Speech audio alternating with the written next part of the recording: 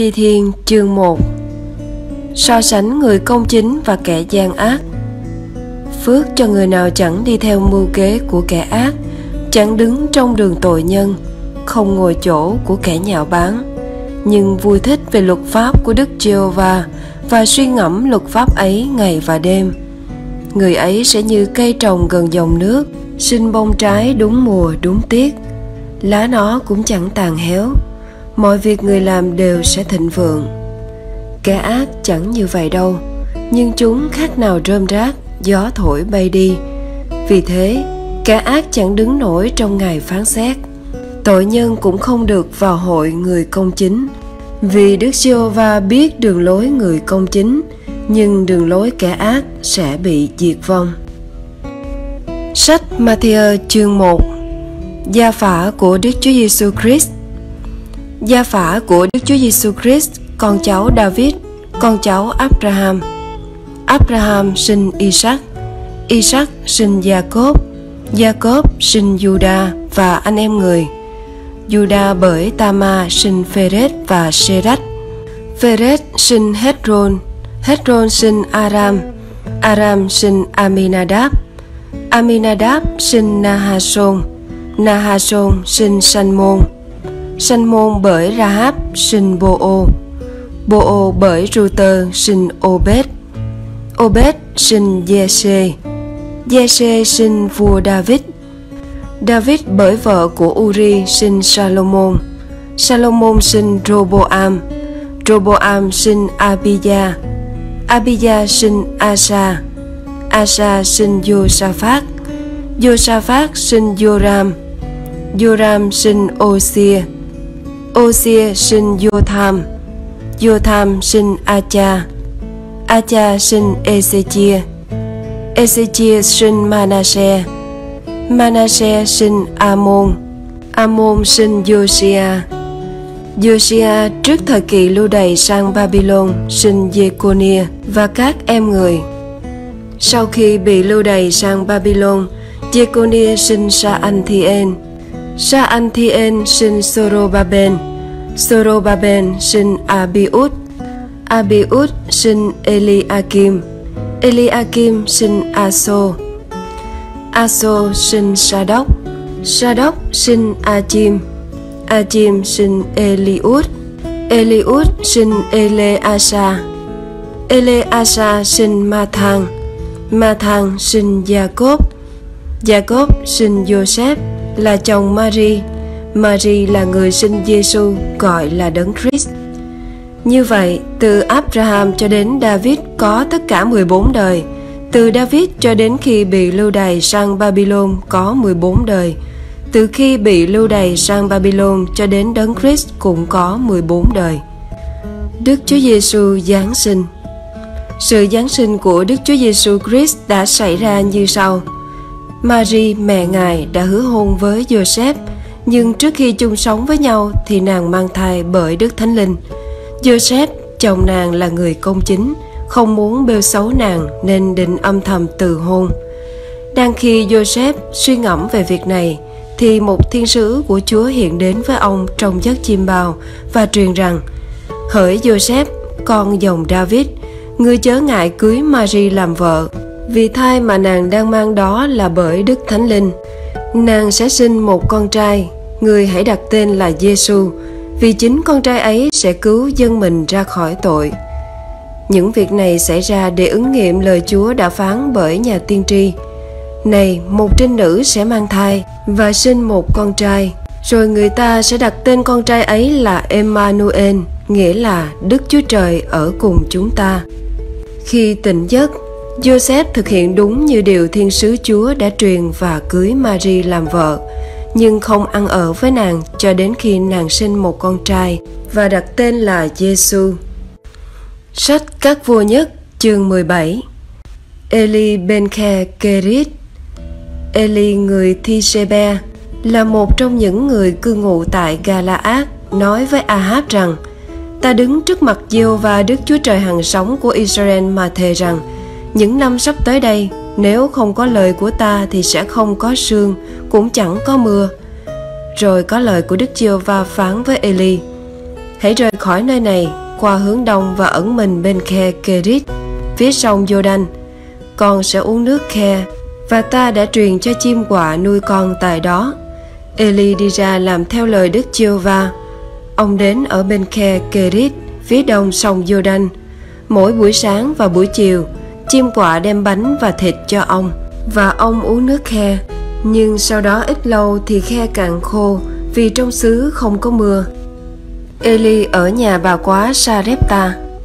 Bấy giờ có lời của Đức giê va phán với Eli, hãy mau đi đến Sarepta, thành thuộc về Sidon và ở lại đó. Kìa, ta đã truyền cho một bà quá ở thành ấy cung cấp thức ăn cho con. Vậy ông đi lên đường đến Sarepta. Khi đến cửa thành, ông thấy một bà quá lượm củi thì gọi bà và nói, xin bà đem cho tôi một chút nước trong bình để tôi uống. Bà ấy đi múc nước, nhưng ông gọi lại và nói với bà, xin bà cũng đem cho tôi một miếng bánh nữa. Bà quá đáp, tôi chỉ diêu và Đức Chúa Trời hàng sống của ông mà thề, tôi không có bánh, chỉ còn một nắm bột trong vò và một chút dầu trong bình. Này, tôi lượm hai khúc củi rồi nấu cho tôi và con trai tôi. Khi ăn xong, chúng tôi sẽ chết. Nhưng Eli nói, đừng sợ, hãy trở về và làm đúng như bà nói. Nhưng trước hết, hãy lấy bột ấy là một cái bánh nhỏ rồi đem cho tôi. Sau đó, hãy làm cho bà và con trai bà. Vì Jehovah Đức Chúa Trời của Israel phán, bột sẽ không hết trong vò và dầu sẽ không thiếu trong bình cho đến ngày Đức giê va ban mưa xuống đất. Bà ấy đi và làm như lời Eli đã nói. Bà cùng với Eli và con trai bà có đủ ăn lâu ngày. Bột chẳng hết trong vò, dầu không thiếu trong bình, đúng như lời Đức Chiêu và đã phán qua Eli. Eli khiến con trai của bà quá sống lại. Ít lâu sau, con trai của người đàn bà, tức là chủ nhà, ngã bệnh. Bệnh tình rất nặng đến nỗi nó tắt thở.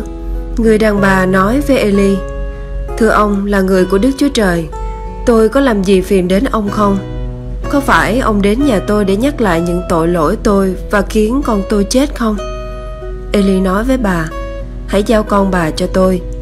Ông bồng đứa trẻ từ tay mẹ nó, đem lên phòng cao chỗ ông ở và để nó nằm trên giường mình. Rồi ông kêu cầu với Đức Chiêu va rằng, Chiêu và Đức Chúa Trời của con, sau ngày giáng ta họa trên người đàn bà quá này là chỗ nhà nơi con trú ngụ, để con trai bà ấy phải chết. Ông nằm ấp trên mình đứa trẻ ba lần và kêu cầu với Đức Chúa Va rằng, Ôi giê va Đức Chúa Trời của con, xin Chúa khiến sinh khí của đứa trẻ này trở lại với nó. Đức giê va nhậm lời của Eli, sinh khí của đứa trẻ trở về với nó và nó sống lại. Eli bồng đứa trẻ từ phòng cao xuống nhà dưới, giao cho mẹ nó và nói, Hãy xem, con bà đã sống. Bà nói với Eli, Bây giờ tôi biết ông là người của Đức Chúa Trời và lời phán của Đức Chiêu và qua miệng ông là chân thật. Sách Các Vua Nhất, chương 18 Eli và 450 tiên tri Ba Anh Sau một thời gian dài, có lời của Diêu và Đức Chúa Trời phán với Eli vào năm hạn hán thứ ba rằng Hãy đi gặp Ahab, ta sẽ khiến mưa xa xuống đất. Eli đi gặp Ahab. Bây giờ tại Samari có nạn đói trầm trọng. Ahab sai gọi Abdia là quản đốc hoàng cung. Abdia rất kính sợ Đức Giê-hô-va. Khi Jezabel giết các nhà tiên tri của Đức Giê-hô-va, thì Abdia có đem 100 nhà tiên tri giấu trong hai hang đá, mỗi hang 50 người, lấy bánh và nước mà nuôi họ. Ahab nói với Abdia rằng, hãy đi khắp xứ, xem tất cả các suối và khe. Có lẽ chúng ta sẽ tìm được cỏ để cứu sống ngựa và la, nếu không, các súc vật của ta sẽ chết hết. Hai người chia nhau đi tuần khắp xứ. Ahab đích thân đi hướng này, còn Abdia thì đi hướng kia. Abdia đang đi trên đường thì gặp Eli ra đón mình. Abdia nhận ra Eli, sắp mình xuống trước mặt ông và hỏi Thưa có phải ông đây là Eli, chúa tôi không? Ông đáp, phải chính ta. Hãy đi nói với chủ ngươi rằng Eli đang ở đây. Abdia nói, tôi phạm tội gì mà ông lại phó đề tớ ông vào tay Ahab để ông ấy giết tôi? Tôi chỉ đức chiều và hàng sống của ông mà thề, chẳng dân nào nước nào mà chủ tôi không sai đến tìm ông. Và khi người ta đáp rằng Eli không có ở đây, thì vua bắt nước ấy và dân ấy phải thề là không gặp ông. Thế mà bây giờ ông lại bảo đầy tớ ông đi nói với vua rằng Eli đang ở đây. Rồi khi tôi rời khỏi ông, thần của Đức Chiêu và đem ông đi nơi nào tôi chẳng biết. Vậy nếu tôi thực lại cùng Ahab mà vua không thấy ông thì hẳn sẽ giết tôi đi.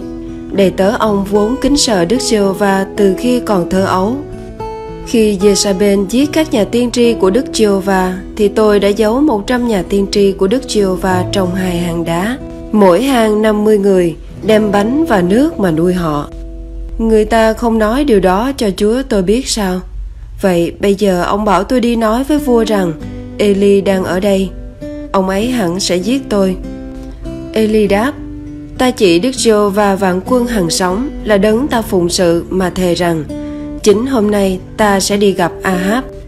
Vậy Abdia đi đón Ahab và báo cho vua biết. Ahab liền đi đón Eli.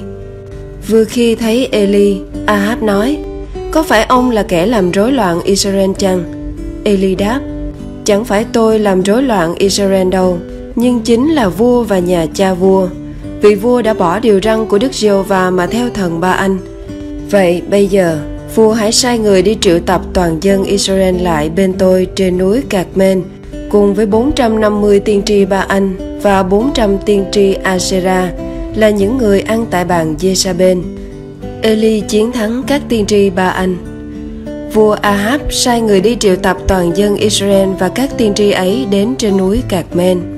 Eli đến trước dân chúng và nói, Các người đi dèo hai bên cho đến bao giờ?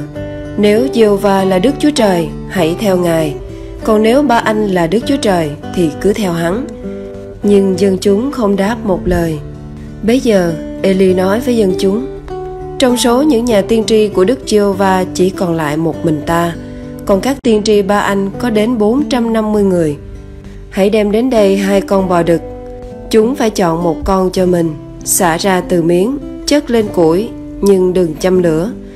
Còn ta, ta sẽ làm thịt con bò kia, đặt nó trên củi, không châm lửa. Sau đó hãy kêu cầu danh của thần các ngươi đi. Còn ta, ta sẽ kêu cầu danh Đức Chiêu Va Thần nào đáp lời bằng lửa chính là Đức Chúa Trời. Toàn dân đều nói, lời ấy rất phải. Eli nói với các tiên tri ba anh, hãy chọn một con bò đực và làm thịt nó trước đi, vì các ngươi đông. Rồi hãy kêu cầu danh của thần các ngươi, nhưng đừng châm lửa. Chúng bắt con bò mà người ta đã đưa cho và làm thịt, rồi từ sáng sớm đến trưa, chúng kêu cầu danh của ba anh rằng, hỡi ba anh xin đáp lời chúng tôi nhưng chẳng có tiếng gì cũng chẳng ai đáp lời chúng nhảy múa quanh bàn thờ mình đã dựng lên. Đến trưa, eli chế nhạo chúng rằng, hãy la lớn lên đi, vì ba anh là thần mà. Có lẽ thần đang còn ngẫm nghĩ, hoặc bận đi ngoài, hoặc đang đi đường, hoặc đang ngủ và cần được đánh thức chăng? Chúng càng kêu lớn hơn và lấy gươm giáo rạch mình đến chảy máu, theo thói tục của chúng. Khi đã quá trưa, Chúng cứ nói lãm nhảm như thế cho đến giờ dừng tế lễ chay buổi chiều. Nhưng vẫn không có tiếng nói, không một ai đáp lời, cũng không có thần nào quan tâm đến. Bấy giờ, Eli nói với dân chúng, hãy đến gần ta. Dân chúng đến gần ông. Dân chúng đến gần ông. Rồi Eli sửa lại bàn thờ của Đức Chiêu và đã bị phá hủy. Ông lấy 12 hòn đá theo số 12 bộ tộc của các con trai Gia-cốp là người mà Đức Giê-hova đã phán rằng Israel sẽ là tên con. Ông dùng 12 hòn đá ấy dựng nên một bàn thờ nhân danh Đức Giê-hô-va. Chung quanh bàn thờ, ông đào một cái mương chứa khoảng 15 lít hạt giống. Rồi ông chất củi, chặt con bò ra từng miếng và sắp lên trên củi. Ông nói, hãy múc đầy bốn bình nước và đem đổ trên tế lễ thiêu và củi. Ông lại nói, hãy làm lần thứ nhì thì họ làm lần thứ nhì ông nói tiếp hãy làm lần thứ ba và họ làm lần thứ ba nước chảy tràn chung quanh bàn thờ đến nỗi đầy cả mương đến giờ dân tế lễ chay buổi chiều nhà tiên tri Eli đến gần và cầu nguyện rằng lạy Diêu và Đức Chúa Trời của Abraham, Isaac và Israel hôm nay xin cho mọi người biết rằng trong Israel Ngài là Đức Chúa Trời con là đầy tớ của Ngài con vâng lời Ngài mà làm mọi điều này. Đức Giê-hô-va ôi xin nhậm lời con. Xin đáp lời con để dân này biết rằng chính giê va là Đức Chúa Trời và Ngài khiến cho lòng họ quay trở lại. Lửa của Đức giê va giáng xuống, thiêu đốt tế lệ thiêu, củi, đá, bụi và rút nước trong mương. Thấy vậy, tất cả dân chúng sắp mình xuống đất và tung hô: giê va là Đức Chúa Trời, giê va là Đức Chúa Trời. Eli nói với dân chúng: Hãy bắt bọn tiên tri ba anh, đừng để một tên nào trốn thoát. Họ liền bắt chúng. Eli đem chúng xuống khe Kishon và giết chúng tại đó. Cơn hàng hán chấm dứt. Eli nói với Ahab, xin vua đi lên và ăn uống, vì tôi có nghe tiếng mưa lớn. Vua Ahab đi lên ăn uống, nhưng Eli leo lên đỉnh núi Cạc Mên, cúi xuống đất và úp mặt mình giữa hai đầu gối. Rồi ông bảo đầy tớ mình, hãy đi lên, nhìn về hướng biển. Người đầy tớ đi lên nhìn rồi nói, không có gì cả. Eli lại nói, hãy trở lên bảy lần. Đến lần thứ bảy, người đầy tớ đáp, kìa, từ phía biển có một cụm mây nhỏ bằng bàn tay nổi lên. Eli nói tiếp, hãy đi nói với vua Ahab rằng, xin vua thắng xe và đi xuống kẻo mưa cầm chân vua lại chăng. Trong chốc lát, bầu trời bị mây che đen kịch, gió nổi dậy và có cơn mưa rất to. Ahab liền lên xe chạy đến Gitreen. Tay của Đức giê và đặt trên Eli. Ông thắt lưng và chạy trước Ahab cho đến khi vào thành Gitreen.